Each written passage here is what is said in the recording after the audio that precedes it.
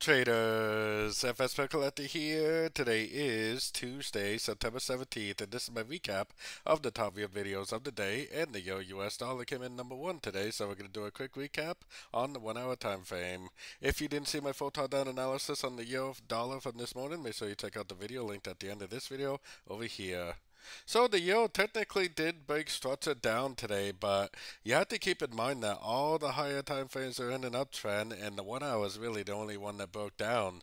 And for me, anytime I see one, two, three waves up like that, it's always a red flag that it could be like an irregular wave B, this could be a wave A, it could be a wave C. We literally could bounce off any one of these Fibonacci levels and just keep on trending up.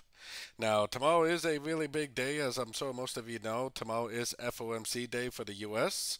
So I will be live streaming for this news event tomorrow, you know, about 15 minutes before the news starts. So definitely stop in on YouTube for that. But we have uh, FOMC tomorrow, and they are planning on lowering interest rates for the first time in years. So we could have a very, very volatile day. Even though the US, the euro dollar is in an uptrend on basically every single higher time frame, the Dollar index to me kind of looks like it needs to go up. If the US dollar index goes up, then pairs like the euro dollar will likely go down.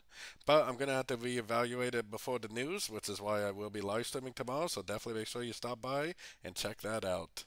So anyways, don't forget to join my free Discord channel, which is linked down here in the corner. And as always, thank you and happy trading.